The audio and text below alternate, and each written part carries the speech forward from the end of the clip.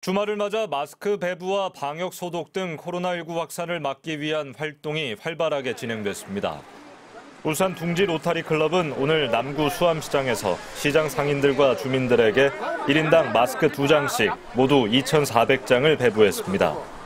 공무원과 봉사단체 회원 등 385명으로 구성된 125개 방역단도 버스 정류장과 전통시장 등 다중이용시설 9,898곳에 대한 방역 소독을 벌였습니다.